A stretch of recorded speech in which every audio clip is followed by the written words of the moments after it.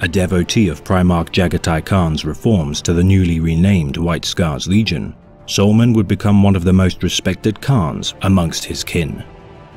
Waging war alongside the Sisters of Silence during the Battle of the Chondax system against the Alpha Legion, Tsolmon would command a last stand against the Hydra. His forces would be annihilated by orbital bombardment, but not before Tsolmon would evacuate a contingent of his men and the Sisters of Silence aboard the vessel Hawkstar.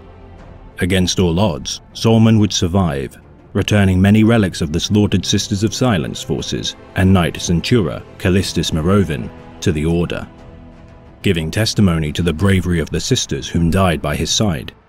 In recognition of his deeds and those of his Primarch, the matriarchs of the Sisters of Silence would bestow Tsolmon with the rare privilege of an honor guard. Treating the rare honor with the utmost humble respect, the sisters would stand beside Tsolmon in battle,